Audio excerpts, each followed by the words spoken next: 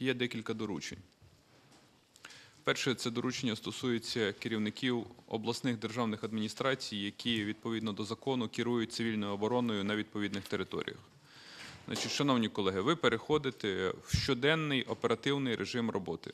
Як керівник цивільної оборони я вимагаю кожен день голова адміністрації, начальник місцевої міліції, запросити керівника Служби безпеки, керівника служби з надзвичайних ситуацій, тих керівників стратегічних підприємств, які знаходяться у вас на території, щоденна оперативна нарада з питання координації роботи по безпеці громадян і об'єктів інфраструктури в кожній окремій області.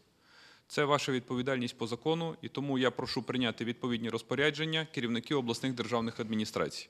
Значить, я прошу всіх е, керівників. Максимальна концентрація, максимальна мобілізація, відповідальність. Ще раз підкреслюю: кожен ранок у вас повинен починатися з оперативної наради з силовими відомствами.